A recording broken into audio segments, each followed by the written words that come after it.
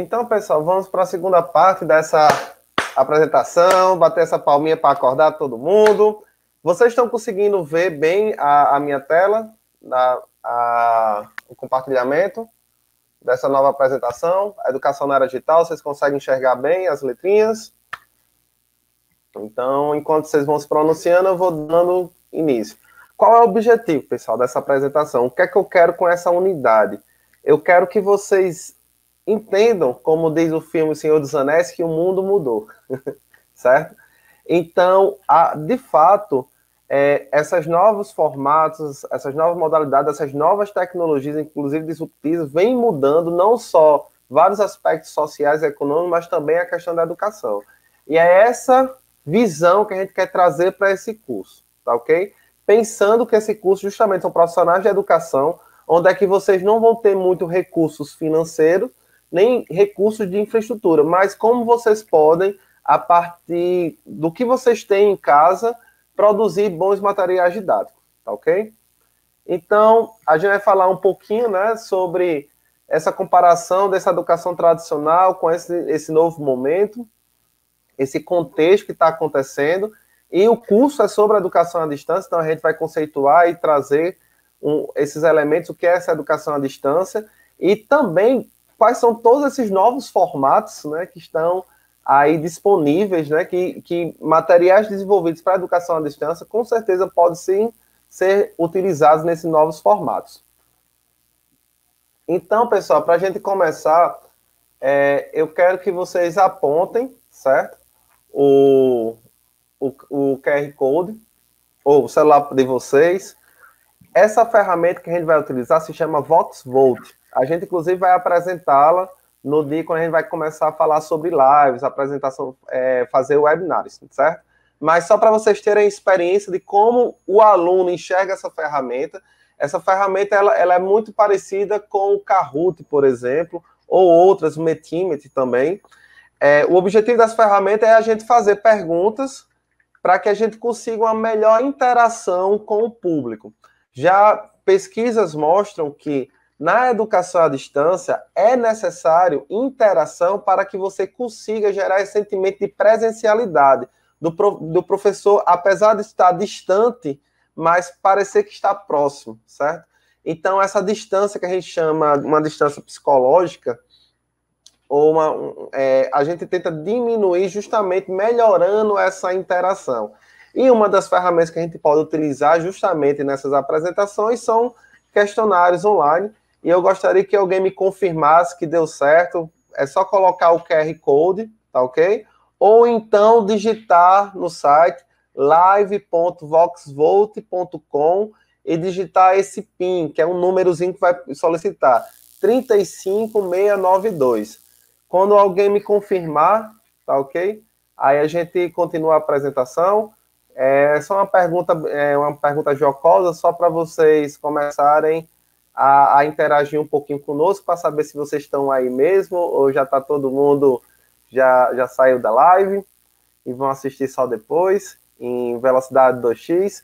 Aguardando, pronto. Então vou lá aqui dar o play.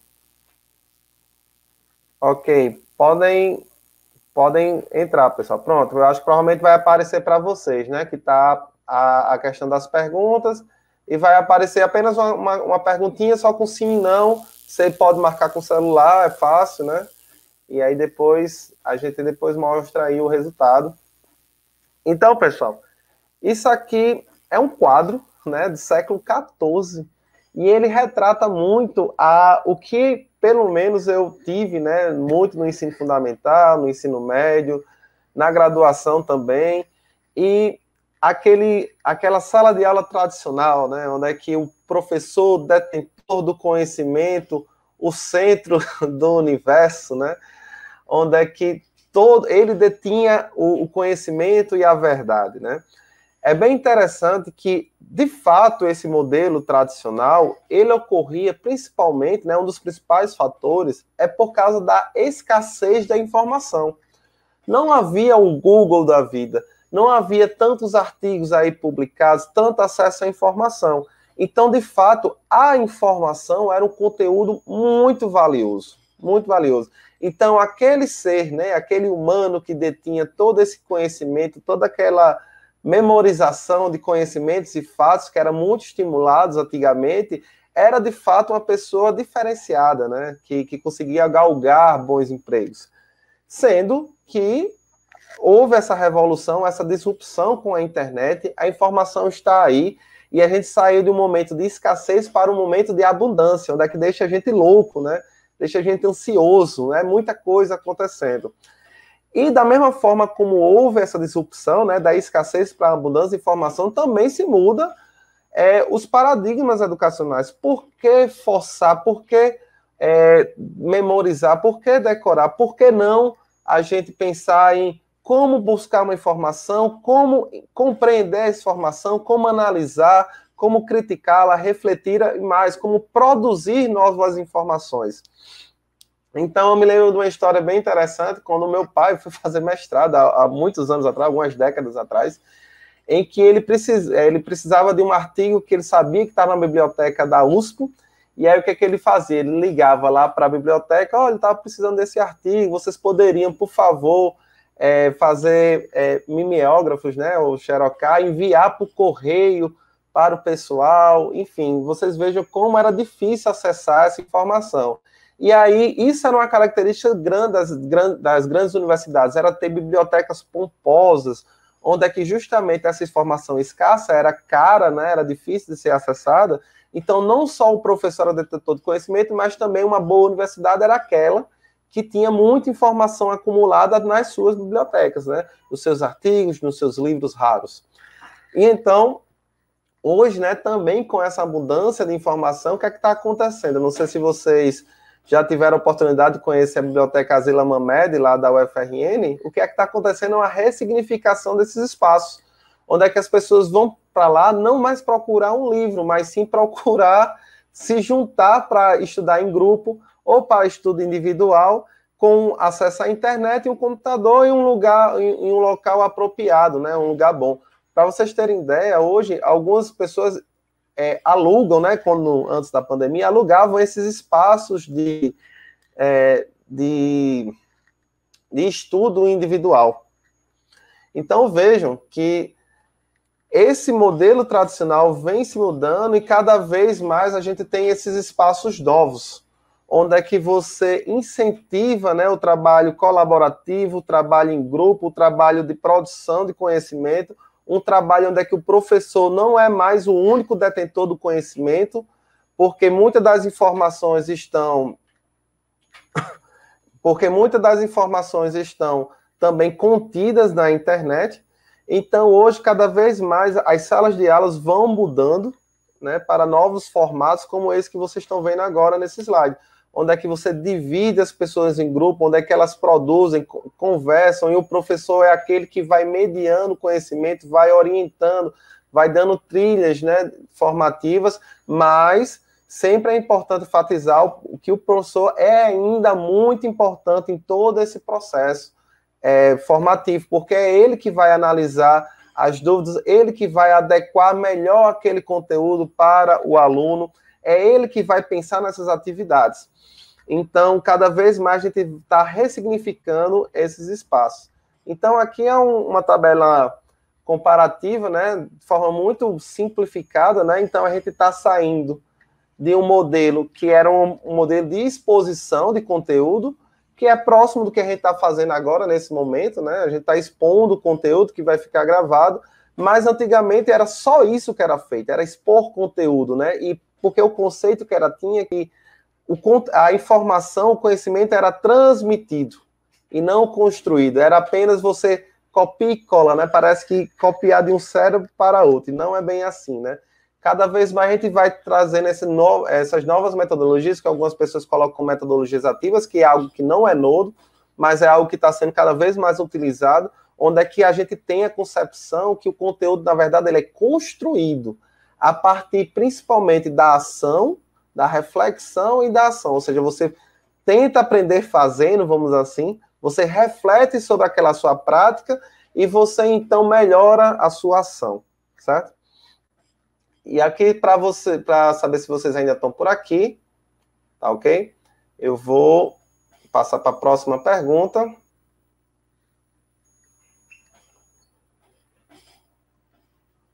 Eu acho que já está rodando. É, tá dando certo, pessoal? A próxima pergunta. Então, diante dessa mudança, né, dessa disrupção de, desse modelo tradicional para esse modelo mais interativo, né, onde é que você coloca o professor como mediador, o aluno começa a ter mais é, proeminência, né, mais é, protagonismo na sua educação. Aí uma pergunta que fica, né? Já que tanta informação está aí disponível na internet, por que ainda procurar uma instituição educacional? Vocês teriam alguma coisa para mim? Caso vocês não queiram digitar, pode também digitar aqui no chat, que eu vou lendo aqui algumas respostas que venham a acontecer. Tá bem? É, então, a pergunta é essa, refletir. Tem tanta informação por aí, por que então, né? Por que procurar uma instituição? Por que procurar uma instituição de educação? E aí novas necessidades vão surgindo, né? Dado que a informação está aí, por exemplo, muitas pessoas procuram pela questão de um certificado mesmo. Né? Muita gente procura para ter um diploma, né? Para ter apresentar justamente para se é, inserção no mercado de trabalho, o mercado de trabalho do, do brasileiro ele é muito voltado, né? Para o danado diploma. Outra questão que muitas vezes o pessoal procura é network, né? Você procurar fazer novos contatos, é, conhecer novas pessoas. Outra questão que a gente também pode pensar é essa mediação pedagógica, esse suporte pedagógico, porque uma coisa é você sozinho estudando, vendo uma informação, a outra coisa é você ter um professor que vai te dar um suporte pedagógico, que vai tentar tirar dúvidas de vocês. A questão também, é, a instituição de educação também não é como um, um, um lugar social né? Onde é que você vai conhecer novas pessoas também, né? E tem um suporte também, né? Uma rede de suporte para você, certo? E então, agora chegamos de fato ao nosso tema, né? É, hoje, né? Está tendo essa transição, essa mudança. O que é que a gente, algumas pessoas chamam essa, esse momento, né? Que a gente chama de era digital. Que momento é esse, né?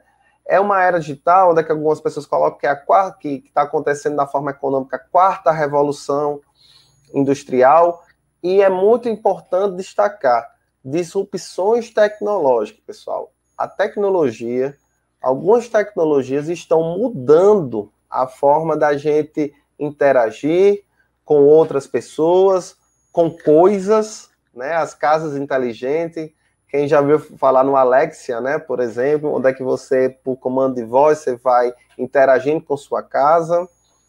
Olga colocou aqui, a instituição da educação ainda organiza melhor a disciplina do tempo, por conta própria fica mais complicado. Isso é verdade. A gente, para estudar sozinho, a gente tem que desenvolver habilidades como autonomia e autodidatismo, que não é fácil, né? não é simples.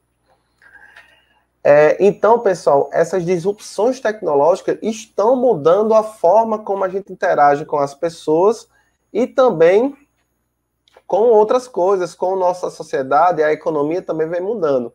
E aqui eu trago algumas notícias que é a minha área né, de doutorado, essa área de ciência de dados, inteligência artificial, foi o que eu venho estudando desde a graduação, mestrado, doutorado.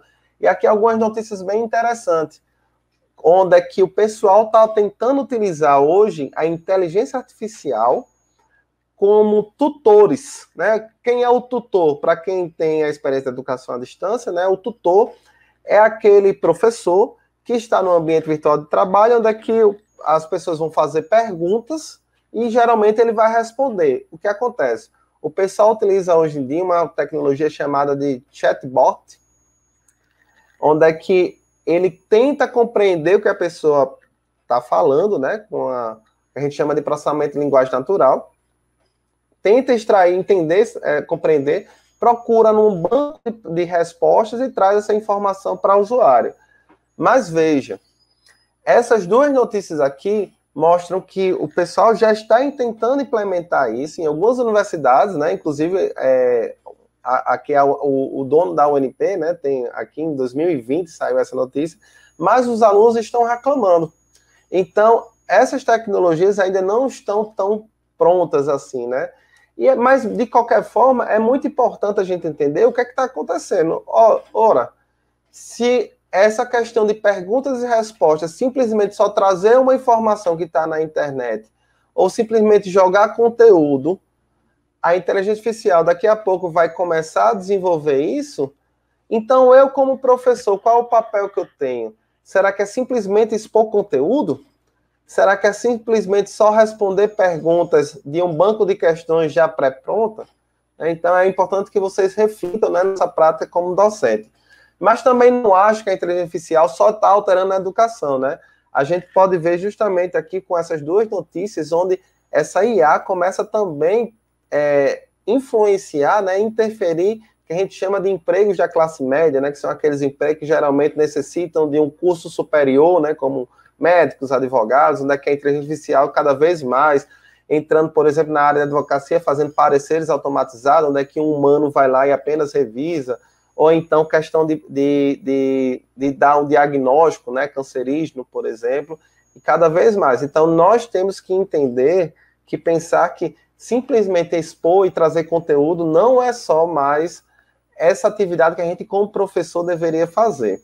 Além de tudo isso, né, dessas tecnologias disruptivas, é importante lembrar que também a gente está tendo um momento de desmaterialização de muitos dispositivos nossos, onde é que essa figura né, representa hoje um celular. Um celular consegue ter todos que a gente chama de gadgets, né? Todos esses dispositivos estão dentro de um celular, inclusive com poder computacional atualmente é maior do que o Apollo 13 que chegou na Lua. Então vejam que cada vez mais esse mundo está se tornando virtual e vários serviços, vários aspectos da nossa vida também estão cada vez mais digitalizando, né? Estão, estão aí na nuvem, né? Que algumas pessoas colocam. E também é, é muito interessante, olha só que, que interessante esse, esse, essa figura. O Fórum Econômico de, fez uma projeção para 2020, né? Não se esperava-se uma pandemia. Mas olha só que interessante os três primeiros, vou pegar só os três primeiros aqui aspectos que ele coloca como quais são as habilidades e competências que o pessoal espera que as pessoas tenham no mercado de trabalho, no mundo do trabalho, né? É, o, a resolução de problemas complexos, o pensamento crítico e a criatividade.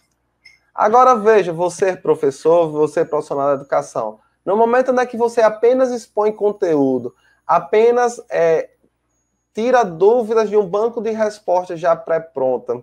Apenas um questionário de, de, de, questões de marcar. Você está conseguindo desenvolver essas habilidades e competências nos seus alunos, que são coisas necessárias né, para esse mundo de hoje? É uma coisa que é importante vocês refletirem. E aí, a gente começa agora a fazer esse nexo né, com a educação à distância. Diante desse cenário que eu pintei, que eu contextualizei, dessas tecnologias disruptivas, dessa virtualização das nossas vidas, cada vez mais virtual, a pergunta que eu coloco, né, e eu vou abrir aqui novamente a, a próxima pergunta. Na opinião de vocês, é necessário ainda professores e alunos estarem fisicamente no mesmo lugar e no mesmo momento do tempo para o processo de ensino e aprendizagem ocorrer? Pessoal, quem não conseguir responder lá no nosso aplicativozinho do VoxVolt, certo? Vocês podem é, responder aqui no chat, tá ok? Que aí a gente vai acompanhando aqui, tá certo? Então, pessoal, na opinião de vocês, se vocês não responderem lá no VoxVolt, pode mandar aqui para gente, aqui no chat mesmo. Vocês acham que é necessário né, que ainda professores e alunos estarem fisicamente no mesmo lugar, no mesmo momento de tempo, para que esse processo né, de ensino e aprendizagem ocorra. Né? E aí, eu acredito né, que vocês, por terem se inscrito no curso de educação à distância, vocês talvez tenham alguma opinião, ou eu, eu espero que, eu não sei se todo mundo já tenha tido né, uma experiência de educação à distância, Caso não tenha tido, sejam todos muito bem-vindos, né? É sua primeira experiência, eu espero que seja muito agradável para vocês. E então, deixa eu ver aqui o que é que vocês já responderam. Vamos ver. Então, a grande maioria respondeu que não. Que bom, né? Então, a gente vê justamente, Thaís colocou, né? Acredito que não é necessário, mas é essencial. Acredito que é importante. Sim, momentos presenciais serão importantes. A gente vai discutir daqui a pouco um pouquinho mais sobre isso. Não é necessário. Minha experiência com aulas remotas tem me dito que não. Ótimo, muito bom, Olga. Eu fiz uma graduação à distância. Olha que legal, Luciano. Eu já fiz algumas pós, eu já fiz pós à distância. Foi uma experiência bem interessante também. E é muito legal. Você como professor da educação à distância e você é aluno como educação à distância. Estou fazendo uma segunda graduação hoje à distância. É, e, e, é muito, muito interessante essas duas visões, né? Esses dois lados da moeda que ocorrem. Então a gente vem, né, para esse debate, é AD, né? Qual é AD? Como é que se escreve primeiro, né? Primeiro, pessoal, é, eu vou utilizar aqui nessa na, no nosso curso a definição que é dada pela lei, certo? Onde é que define que a educação à distância é uma modalidade. O que é que se entende como modalidade? Que é um modo, né? São várias práticas pedagógicas diferenciadas para que ocorra esse processo de ensino-aprendizagem. E que prática diferenciada é essa, né? Que modelo é esse, né? Que modo é esse? É que, de acordo com a lei, né? Artigo 1, para fins de decreto, é, a modalidade à distância, a mediação didático-pedagógica nos processos de ensino e aprendizagem ocorram com a utilização de meios e tecnologias de informação e comunicação, ou seja, o meio é através das tecnologias, e também destaca o quê? Desenvolva atividades educativas por estudantes e profissionais de educação que estejam em lugares e tempo diversos. É, este momento que temos é um momento síncrono, ok? Então está acontecendo ao mesmo tempo. É a mesma coisa que você está ligando para alguém. É a mesma coisa que você está dando uma aula ao vivo para alguém. Então, esse é um momento síncrono. Mas a educação à distância, ela prevê que as atividades não precisam ser síncronas. Elas podem também ser síncronas, mas o importante é que ela tenha esse momento assíncrono que a gente, que a gente coloca. O que é esse momento assíncrono? É que o professor e o aluno, eles não precisam estarem no momento presente em espaços, no mesmo espaço. Não precisa. A educação à distância dá esse poder ao aluno para que ganhe flexibilidade, para que ele escolha qual é o melhor momento e qual é o melhor espaço para ele para desenvolver essas atividades. A educação à distância pode ter momentos síncronos? Lógico que pode, mas não pode se basear apenas nos momentos síncronos. Para só com os momentos síncronos, se, se, se a experiência educacional é só momentos síncronos, temos então justamente essa, essa educação remota emergencial que vem ocorrendo, né, que as pessoas colocam apenas momentos síncronos, né, praticamente. Então, não é essa a proposta do curso. Nós vamos ter momentos síncronos, sim, principalmente para acompanhamento das atividades, mas os momentos síncronos, eles não são é, obrigatórios, eles são muito importantes, mas o, o, a educação à distância vai ocorrer justamente nesses momentos assíncronos. Então, a gente espera, justamente pela essa modalidade, uma autonomia melhor do aluno. Então, para isso, a gente geralmente, por isso que funciona muito bem para alunos mais adultos, com uma experiência, certo? Sendo que é importante colocar que a educação à distância, da forma como está hoje, ela vem evoluindo ao longo do tempo, certo? Então, ela, a gente pode, existe várias é, várias, é, várias gerações, vários formatos de gerações, né, várias definições de gerações de educação à distância, certo? O que eu estou apresentando aqui é um artigo que eu acho esse aqui mais interessante, como você pode dividir a educação à distância. Então, a educação à distância que a gente está fazendo neste momento, ela não é a mesma de quando começou. A primeira geração, que a gente chama de educação à distância, e esta geração fez com que as pessoas tivessem muito preconceito com a educação à distância até hoje, era uma educação à distância onde é que a gente chama que ela era para massificação. Qual era o objetivo dela? Era geralmente era vinculado à, tecnologia de TV e de rádio. Então você pegava, você definia uma pessoa média, um público médio, então tipo, esse aluno é assim, assim assado, geralmente tem esse e esse conhecimento, então nós vamos fazer produzir todo um curso, todo esse material, todo esse conteúdo, pensando nesse aluno médio. a tecnologia, pessoal, é que geralmente acaba definindo também a abordagem pedagógica. Já que a TV e, a, e o rádio não conseguem ter, proporcionar interação entre as pessoas, então era justamente uma abordagem onde é que você simplesmente só enviava informação, enviava conteúdo. Não havia pouquíssimo momento de interação. Basicamente, a interação era você enviar de volta, até por carta, né? Ou então por uma plataforma, o, a resposta. Então foi utilizado muito essa época das cartas, né? Onde é que você recebia uma prova em casa, você respondia e enviava por carta o retorno. Já que a tecnologia não proporcionava interação, a principal abordagem né, pedagógica, e aí para os pedagogos que tiverem, se eu falar alguma besteira, eu peço desculpas, era behaviorismo cognitivo, onde é que, principalmente baseado no design instrucional advindo da Segunda Guerra, o que é que é, definia esse, esse aluno médio e produzia todo esse material didático padronizado para que esse fossem colocados, massificados para todas as pessoas. Então, eles eles, eles tentavam desenvolver é, atividades de aprendizagem, principalmente de leitura e assistir, onde é que eles enfatizavam muito a memorização.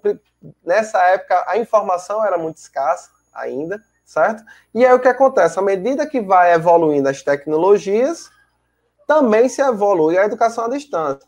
Então, a gente vem para uma segunda geração por exemplo, baseada no construtivismo. Por quê? Porque a tecnologia utilizada agora já eram conferências, já eram, já surgiu os ambientes virtuais de aprendizagem, já é, surgia formas, certo, pessoal, de vocês conseguirem interagir com, com o professor. Então, já que agora era possível interagir, ter essa interação professor e aluno, então novas abordagens pedagógicas, como o construtivismo, que é muito baseado nessa questão de se relacionar, nessa interação de professor e aluno, nessa construção de conteúdo, passou a ser possível. E aí vem essa internet, todo mundo utilizando, banda larga chegando finalmente nas pessoas, mas não a todo mundo, certo? E essa começa a surgir uma nova cultura das redes sociais. As pessoas querem opinar em tudo, né? mesmo não sendo especialistas. As pessoas se auto-organizam, auto-organizam. As pessoas criam grupo de WhatsApp, por exemplo, criam grupos no Facebook criam, e começam a se é, auto-organizar a partir de temas em comuns e começam a construir conhecimento a partir daí. De forma auto-organizada, não existe um líder central, mas sim todo mundo é visto como uma grande rede de conhecimento, inclusive a rede de conhecimento não necessariamente são humanos, pode também ter dispositivos com inteligência artificial acoplado a essa rede, e aí essa nova abordagem, essa nova visão, a gente chama de conectivismo, essa abordagem pedagógica, que foi proporcionada justamente por essa mudança cultural do cyberespaço, que a gente chama. Então, a partir daí, a gente é, também é importante notar que um curso não necessariamente ele é uma única abordagem pedagógica e usa uma único, um único tipo de tecnologia. Vocês vão ver que ao longo do nosso curso nós vamos usar videoaulas, nós vamos utilizar material, um texto digital. O, o nosso curso a gente planejou de acordo, baseado no design instrucional, que a gente vai ver na próxima unidade mas a gente também vai estimular que vocês interajam conosco a partir de, de atividades, principalmente de produção, de criação. É, a gente gosta muito de estimular com que vocês trabalhem em grupo. Então veja que um curso ele não tem uma abordagem pedagógica, uma tecnologia única, pura, né? Ela pode ter uma mistura de todas essas tecnologias e, logicamente, acaba uma sendo mais preponderante do que a outra, né, ao longo do curso. Bem, e aí para ver se vocês ainda estão por aqui, vou passar aqui para a próxima questão. Dessas abordagens né, pedagógicas, é muito interessante, né? Acredito que a grande maioria daqui dos colegas é, já são profissionais de educação, sejam professores, professores sejam técnicos da área educacional. E então gostaria muito de saber quais são as abordagens pedagógicas que vocês mais se identificam, que geralmente vocês utilizam, certo? É essa cognitiva behaviorismo, onde é que o objetivo é produzir um material ela é mais padronizado, onde é que você massifica essa informação, ou é sócio-construtivista, onde é que você tenta desenvolver essas atividades intera é, que interajam, que as pessoas produzam, reflitam, né, sobre aquela prática, ou, ou então você entende mais que o conhecimento, na verdade, está distribuído em rede, onde é que você cria essa cultura auto-organizada com seus alunos, onde é que até os seus alunos podem até opinar qual o conteúdo eles querem trabalhar, que isso aí é uma coisa bem revolucionária também. Então, eu gostaria de saber, e vocês, enquanto vocês vão respondendo, eu vou passando aqui para a próxima, próximo slide. Então, pessoal, então o que é que nós temos, né? Essa educação à distância, que é o que vocês vão experimentar, né? Vão presenciar aqui no nosso curso. É, a gente trabalha muito com os ambientes virtuais de aprendizagem, com diversos recursos super interessantes. Nós não nos abdicamos das redes sociais, por exemplo, nós estamos utilizando o YouTube, onde é que vocês vão poder compartilhar. Vocês podem trazer novos, vocês podem indicar novos vídeos lá no fórum, a gente agradece, a gente, toda nova oferta, a gente sempre atualiza o material, a gente vai fazer essas transmissões ao vivo, é, a gente, é, aqui nesse momento a gente está trabalhando também com chats e mensagem instantânea, né, mas poderia, vocês podem se auto-organizar e criar grupo no WhatsApp para conversarem, trocar informações, se ajudarem, certo? O Alga colocou aqui que gosta muito da socioconstrutivista, atualmente tenta o conectivismo junto. É um grande desafio, né, Olga? A gente justamente essa de trabalhar, né, com o grupo pensando em rede, né, tentando fazer com que as pessoas, os alunos tomem mais poder, né, de decisão, é, é um grande desafio. Outra questão também que essa educação à distância traz, né, essa democratização da educação, onde é que a gente consegue cada vez mais chegar em lugares mais distantes, é, geralmente o custo da educação à distância ele é mais ele é, ele é menor. Então os alunos que acabam pagando né geralmente vão é, muitos optam por, pela questão do valor mas não achem que um curso de educação à distância tem uma qualidade inferior. Já existem vários e vários artigos em que mostram que no ENAD, por exemplo, cursos de graduação, o, a média dos alunos, tanto da educação presencial quanto da educação à distância, é, é o mesmo, certo? Não ache que com essas novas abordagens da educação à distância, nós também temos sim, a educação à distância tem uma qualidade, em, em muito caso, superior, né, em, em, em alguns temas na parte presencial. É, Andressa colocou que sócio-constitutivismo também, a Thaís colocou, professor, o Instagram do, o, o Instagram do IFRN Zona Leste. Eu acho que é justamente isso, Thaís. É, arroba IFRN Zona Leste, salvo engano, é, é isso mesmo. Então, pessoal, dado essa nova mudança, essa evolução da educação à distância, também surge, né, novas propostas pedagógicas, né, que ainda está sendo construída, está sendo debatida, e eu recomendo demais que vocês leiam esse artigo. Está lá no material complementar. Inclusive, o autor deste artigo tem uma live de quase uma hora e meia só falando sobre esse artigo, sobre essa nova proposta da educação online. É, justamente pessoal tem muito esse preconceito ainda com a educação à distância, achando que é aquela primeira geração, né, massificadora, mas não. Essa educação online a gente pode também entender como a educação à distância Recomendo demais que vocês assistam, certo? Essa, essa live e leiam o artigo, é muito bom. Vocês vão mudar os seus olhos em relação à educação à distância. É, e aí eu faço uma pergunta para vocês, eu não vou colocar lá, pode responder aqui no chat mesmo, para saber se vocês estão por aqui. Tiago, você pintou um cenário maravilhoso para a educação à distância, né? Novas tecnologias, flexibilidade, redução de custos, parece que é tudo é bonito, né? E, mas e o momento presencial acabou, não precisa mais? Então, vamos fechar as escolas físicas, vamos ficar só com escolas virtuais. E aí eu queria que vocês me respondesse qual a opinião de vocês. Não há mais necessidade nenhuma da sala de aula presencial? O que é que vocês acham?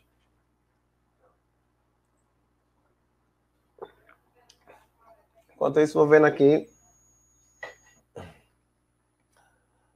Em relação à resposta à pergunta anterior, o pessoal gosta mais do sócio-construtivismo. Legal. E então, pessoal, o que é que vocês acham? Não há mais necessidade de sala de aula presencial? E aí, pessoal, a reflexão que a gente tem que fazer é que a, o momento presencial ele ainda é extremamente necessário. A questão é que a gente como melhor aproveitar esse tempo. Então, ao invés de o professor simplesmente chegar e expor o conteúdo na lousa, e simplesmente fazer uma prova ali naquele momento presencial, vigiando os alunos, por que não utilizar esses melhor, melhor esses momentos? Por exemplo, por que não estimular um debate? Por que não estimular a produção de algum projeto? Olga colocou a necessidade sim, só máquinas não, tá aí sim, eu acredito que não pode faltar. Por exemplo, as experiências de laboratório. É, Daniel, essa pergunta eu não coloquei lá. Essa pergunta pode responder aqui no chat mesmo, tá? A Andressa colocou também a necessidade sim para alguns momentos específicos. Então, na minha visão como docente, sim, ainda existe sim a necessidade do momento presencial em muitos cursos mas eles têm que ser mais bem aproveitados. Por exemplo, um profissional de saúde ele tem que ter experiência ainda prática. Os, simu os simuladores não, com certeza não são suficientes. É, mas não só isso, também disciplinas mais teóricas, né? Aquele momento de debate, por exemplo, imagina um, um plenário onde é que as pessoas colocam grupos antagônicos com é, pontos de vista diver, divergentes e o professor é aquela pessoa que media é, a vivência, né, Thaís? Justamente, Thaís traz um momento muito importante. As escolas também são um ambiente de sociabilidade, pessoal. É um, é, é um lugar onde é que você conhece novas pessoas, onde se encontra seu, seu futuro esposo, sua futura esposa, é onde é que você vai encontrar colegas de trabalho, é onde é que você vai criar vínculos também sociais e emocionais. Então, os momentos presenciais, sim, são muito importantes também mas eles precisam ser melhor bem aproveitados. O momento presencial apenas de exposição de conteúdo não faz mais sentido hoje em dia, pessoal. Você pode gravar uma videoaula, deixar disponível e pronto, certo? E aí, né, justamente pensando, né, que, que há essa necessidade ainda de ter esses momentos presenciais, o que é que o mundo está percebendo, né? O, o, qual é a tendência que a gente vem observando? é justamente essa tendência do hibridismo que a gente fala, onde é que nós temos momentos de educação à distância e nós temos momento de, de, de momentos presenciais. Então, eu indico demais para quem tem interesse sobre esse tema. No lado esquerdo de vocês é um, é um link de um livro que fala sobre o hibridismo, sobre essa revolução, sobre essa mudança de paradigma. E o hibridismo não é só de uma única forma não é só a famosa sala de aula invertida, onde é que você disponibiliza conteúdo é, para os alunos estudarem antes e a sala de aula presencial, no momento de você fazer o exercício, de acompanhar o aluno. Não só existe essa abordagem, pessoal. Existem várias outras abordagens do hibridismo. Tá aí a figurinha resumindo, eu não vou comentar sobre elas, né? Fica aqui a dica. E aqui no lado direito é uma live super interessante que a gente produziu pelo IFRN, né, no Campus Zona Leste, sobre uma palestra falando justamente como a gente pode, como executar o hibridismo de forma é, correta, né? É, e também, com o surgimento dessas novas tecnologias, desses novos formatos, também surgem outra, outras disrupções completamente diferentes. Uma delas é o famoso cursos MOOCs, né? É Massive Open Online Courses. São os cursos abertos massivos online são aqueles cursos onde é que alguém conhece aqui o Coursera, o Veduca, o EDX, o Ken Academy, por exemplo. Então, o que é que são essas plataformas? São plataformas geralmente composta por instituições de renome internacional, onde é que eles produzem um, um curso com uma qualidade de material didático muito boa, onde é que ele define um, uma espécie de aluno perfil médio, né? Produz um material didático muito bom é, e eles disponibilizam, a grande maioria das vezes, até de forma gratuita, mas por ser massificadora, eles não dão suporte pedagógico. Eles não é, tiram dúvidas. O que é que eles fazem? Alguns já estão utilizando inteligência artificial justamente para tentar entender a pergunta do aluno e, através de um banco de resposta, retorna. É, Daniel colocou que um pessoal da UFPE desenvolveu o Amadeus, uma alternativa para o mundo. Sim, eu conheço. Inclusive, eu conheço algumas pessoas que um dos autores lá é bem interessante, o Amadeus, onde é que tem várias ferramentas, inclusive de suporte, né, de ciência de dados educacionais, para melhorar né, a interação. É, enfim, então, esses cursos MOOCs, né, o objetivo deles, pessoal, os cursos MOOCs, o objetivo é produzir um conteúdo com muita qualidade, e disponibilizar informação. Não espere suporte pedagógico desses cursos. Então, o que acontece? Há um número de inscritos muito alto, entretanto, pela essa falta de suporte pedagógico, essa falta de contato com o professor, dessa falta de interação, de sentimento de presencialidade, faz com que a evasão se torne algo muito alto, chegando de 90% a 95%. Mas aí você pega, ó, pessoal, imagine que um curso que eu conheço, por exemplo, ele teve 100 mil inscritos e 10% das pessoas conseguiram concluir. Então, no final das contas, ainda teve 10 mil pessoas que fizeram aquele curso. Então, o objetivo dos cursos MOOCs é principalmente produzir conteúdos e disponibilizar de forma gratuita, tá? O que algumas empresas fazem hoje em dia é cobrar pelo certificado, tá?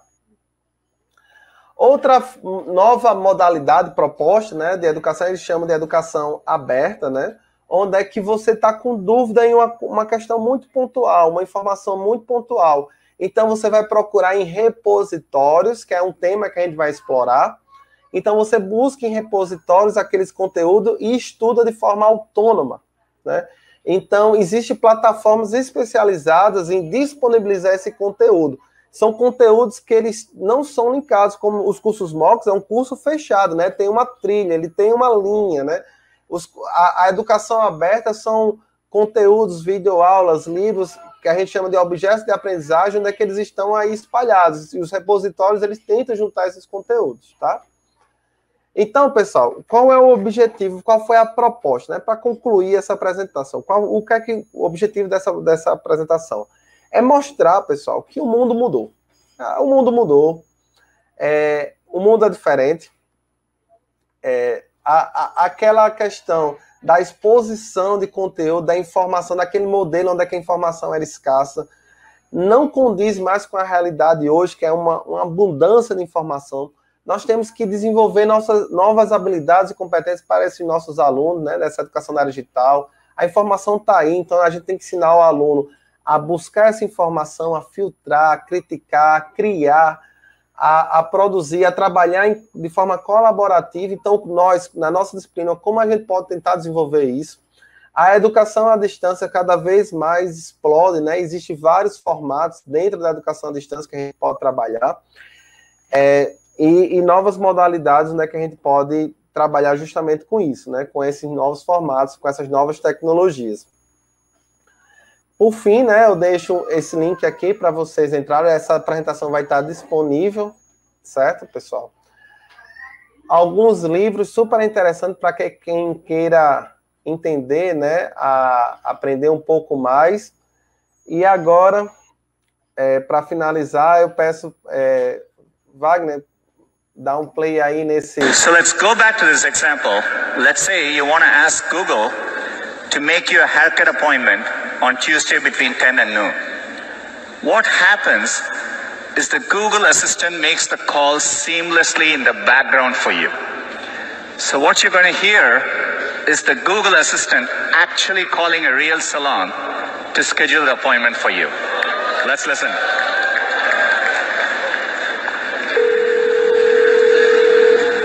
How can I help you? Hi, calling to book a women's haircut for a client. Um, I'm looking for something on May 3rd. Sure, give me one second. Mm-hmm. Sure, what time are you looking for around? At 12 p.m. We do not have a 12 p.m. available. The closest we have to that is a 1.15. Do you have anything between 10 a.m. and uh, 12 p.m.? Depending on what service she would like. What service is she looking for?